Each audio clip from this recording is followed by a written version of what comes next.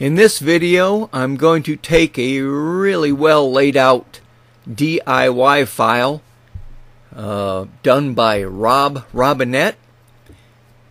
And he's let me go ahead and use his really nice looking DIY file here as an example in this video.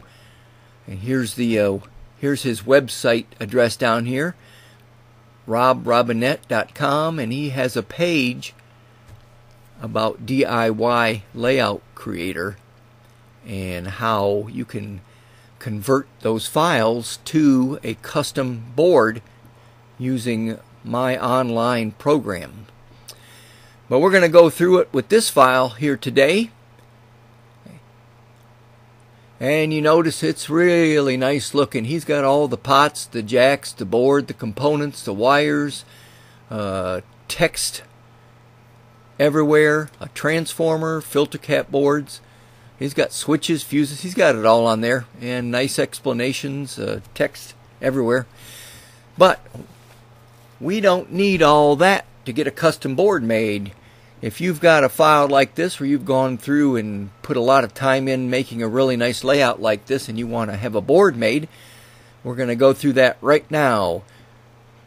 The first thing you do is don't mess with your original file. We don't need all the wires, the capacitors, resistors, jacks. We don't need all that. So I'm going to make a copy of this file. So save as and I've already made a copy so I'm going to call it Bassman 2 here's the original file that I'm using I'm going to call it Bassman 2 DIY and we're going to do that right now. Here okay. Okay. We actually have saved it as that new file so we're actually operating on that new file right now. First thing I'm going to do is we only want the board background and all these eyelet um, places uh, what am I trying components here. That's what my program uses to indicate where you want holes drilled. So let's go up here to layers and lock the board so we can't move it. It goes to the background. And let's go to components and lock them. Oops, wrong one there, sorry. Not components. Traces. The eyelets are on the traces uh, layer. Okay, now you see all of the eyelets have kind of faded in the background and so has the board. So this is not the original file, remember. Basically, going to just select and delete bunch of stuff off the board. You can hit Control A to select everything, and you're not going to delete the stuff that's been locked. You're only deleting the stuff that was on the board layer and the trace layer. Now you notice Rob has a bunch of stuff that's off the board that must be on the trace layer uh, because you can create components out of stuff um, out of this eyelet right here and that appears what he's done here with these jacks and stuff. So we obviously do not want holes drilled where these items are. We only want holes drilled for the items on the board so what I'm going to do here is go ahead and unlock the trace layer and delete all this stuff off the edge of the board here. Let's go over here and look. See all these dots up here that he's got here? So there's nothing wrong with creating components from an eyelet to begin with, but that's not where we want holes drilled for our new board here. Now, here's what we can do also. Let's hit Control A to select everything. Okay, you see these eyelets are on the board here? Look at that one right there. That's probably, uh, I forget from the original file, that he wanted a hole drilled there uh, and wires passed through the chassis. That's my guess. See, he's got these white colored eyelets. Those are where he wanted holes drilled in the board and wires would pass through. Well, we're going to get rid of all those because I don't do those. if you want holes in your board for other things than a, a terminal, then you can drill those yourself because when I have my CNC machine drill a board, it comes off the CNC machine and I start loading terminals into it. I don't want to have to stop and consult a drawing, which is really slow, to find. Oh, there's another one I missed right there. See that one? I don't want to have to consult a drawing which goes real slow to find all these items that are not terminal holes. All right. So we can save our file here. I saved this as basement2.diy. Now here's what we have. We have just a board and every place that we're going to uh, have holes drilled. Okay? But now the other thing is my CNC machine, I lay one long piece of board down and I drill all these holes and then I cut boards apart. So we've got two boards here. We're going to make one long board with a cut line here showing I want this board cut here from one long board. That's how my CNC machine is laid out and I have a fixture that holds boards up to 18 inches long and the boards are always 3.125 inches tall because that's the way I get the material shipped to me. I don't have any other material heights. But first of all, what we're going to do here is we're going to unlock the board. Select everything. I'm just going to move it up to zero zero here. It's just easier to work with stuff that's way up here like this.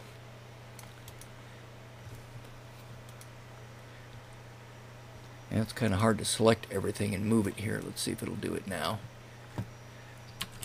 Oh, the arrow keys always work better, I found out. Did I get the eyelets to go with that? Let me see. Nope, I didn't. The eyelets didn't come along.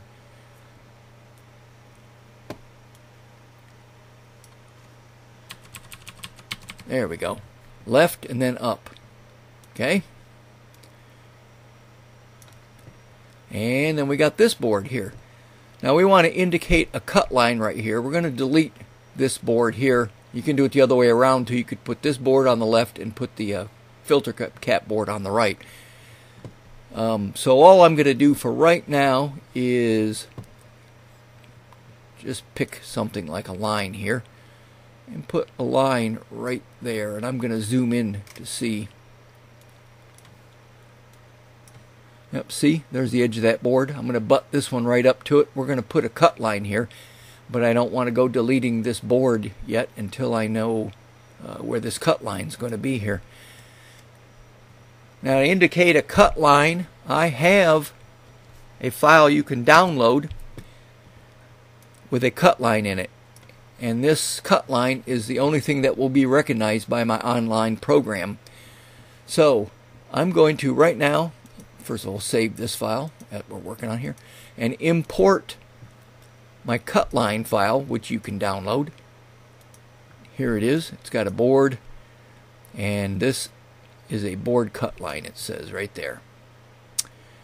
It may look like a regular line, but it has special features attached to it that you can't change in the program. Um, its description is, I don't know, cut line, I believe it is, but you can't assign that to a regular line without opening the DIY file in a text editor and naming it yourself. Anytime you copy and paste things, they always end up as a group. See, look, the board and everything is dragging along. So you want to transform selection and ungroup everything. And we don't need the board background here.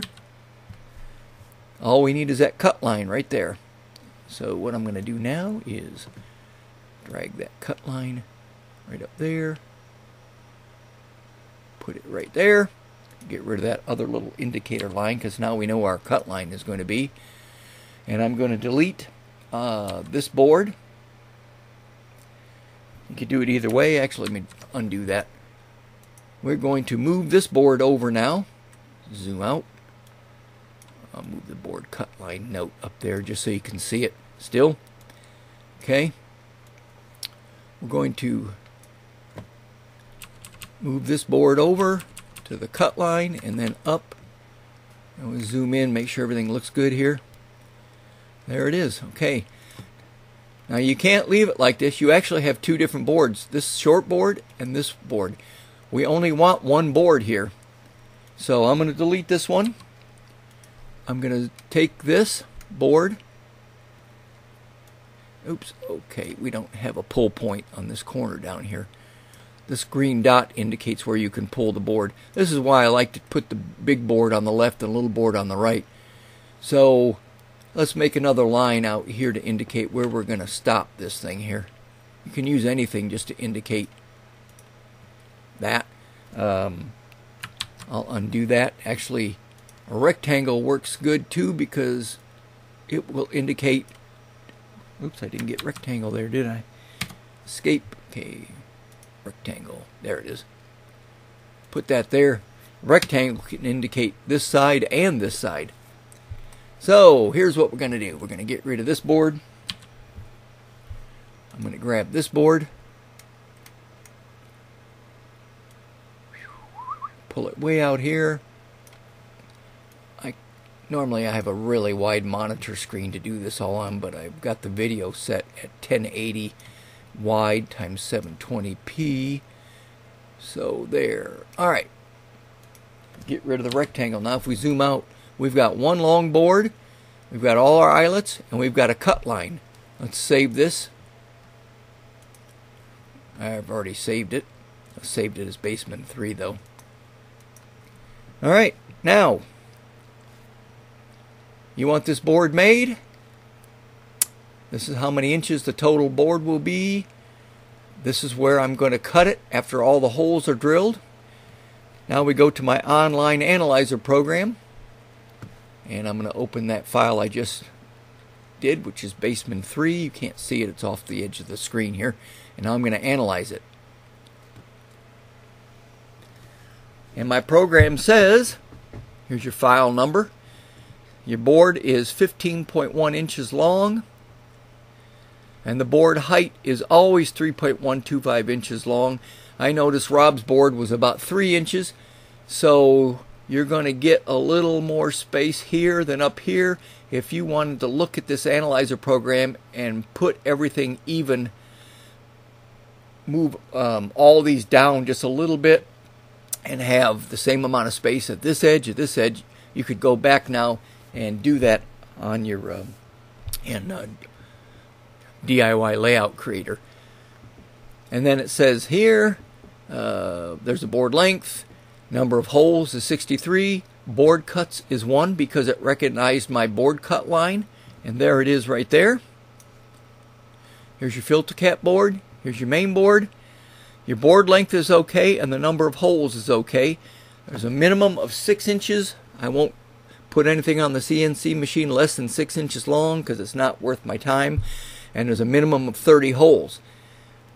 So it pays to group boards together and use a cut line Let's say you had two 4 inch boards. Put them side by side, put a cut line there, and you're good. You're 8 inches, and as long as you have 30 eyelet holes on there, you're good to go. So the board length is okay, the number of holes is okay. Click here to see prices. All this is doing is it wants to add some information to your file. Oops, I'm going to put my initials here. Ah, that's not my initials. Here we go. E email address.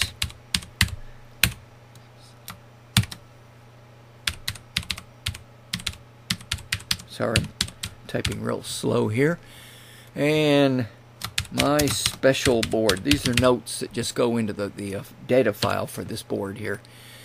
Now you got some selections down here. Click the radio buttons below to make your selections. Do you want natural colored G10 board or black? I want black. Okay, now here's where you select what size hole and what terminals you want. Even though we used eyelets in uh, DIY layout creator, that just indicates where a hole gets drilled, not what type of hole. Here's where you pick that. So I want turret lugs and I want terminals installed in this board. Now if you say no, you don't want terminals, you'll get a board with just holes drilled in it. And if you wanted turret lugs, you would get a 332nd hole. If you wanted eyelets, you would get a 1 8 inch hole. So these selections need to be make made here. Now we're going to see prices for the board now that it's got all your data. It keeps showing you your board up above. Here's the info you entered on the page before. Oh, I guess I didn't put my special board. I just put my special. so board length for the material you're using. It's different between black and natural. Uh, number of holes drilled um, and the price per hole. One board cut. It's a buck for a board cut. Total price for a drilled board is 1661 for that board. Uh, those two boards actually, because it's going to have a, a cut line. And then you chose to have terminals installed. Terminal prices are 63 turret lugs. That's the price for those. Labor to install 63 turret lugs. That's that price. Here's the board price with all the holes and blah blah blah everything drilled. 29.84. And then if you wanted to actually have this board made, you would click here to submit to me, which we're going to do now. And here is all your information and you will get an email with all this information listed, which it says here. Now, if you would actually like to order this, you can add this right to my shopping cart right now, which we'll do. And just to show you how it's done, but you'll need this file name right here. So this is your file name. I'm going to uh, select it and copy that file name. Now let's go to my this link leads you to the uh, shopping cart. Click the button below to add a custom board to your shopping cart list. Paste that file number right there. And it's just giving a recap. Click the button below to add this to your shopping cart. And I've got this screen squeezed down because of that 1080 wide uh, but times 720 high uh, deal we're using here to record this. So normally this would be stretched out wider on your computer screen. But there is your board material from your custom board and your labor to drill it, uh, your lugs, uh, labor to install the lugs, and labor for cut line. There you go and you can get a shipping calculation down here 90210 say is my zip. And it will go and give you a, a calculation on that. If you want to see shipping uh, here's Canada Mexico and all other countries over here. If it's not a USA address you could continue shopping down here and add more things to your uh, your order.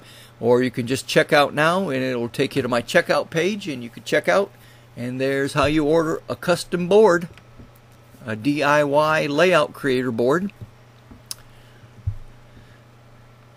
And what I'm going to do is I've been uh, adding these to a playlist, these videos to a playlist on YouTube.